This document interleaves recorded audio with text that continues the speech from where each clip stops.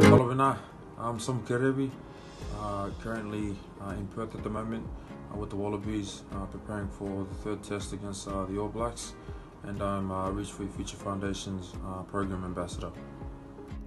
I'm delighted to be part of Reach for Your Future Foundation's crusade that advocates equipping our young learners with the knowledge, tools, and skills for the unpredictable and rapidly changing world.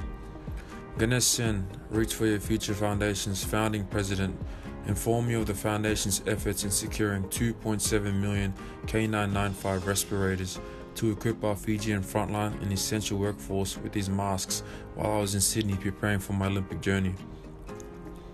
Fiji and its people have a special place for the foundation, and I am honored to be part of the foundation's new vision to enable young learners to be part of the solution. I want to acknowledge all our valuable partners who have worked tirelessly to secure and deliver the 5x40 container consignment. Primarily our procurement donor partner, Medical Pantry, with Dr. Martin Nguyen for his devoted effort with Ganesh over the two months. The Australian Government, through the Department of Foreign Affairs and Trade, and His Excellency the High Commissioner to Fiji, John Feakes, for handling the logistics.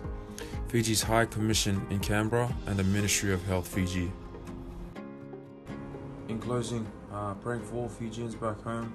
Uh, I just humbly request if you can uh, adhere to all the um, the health advices from the experts.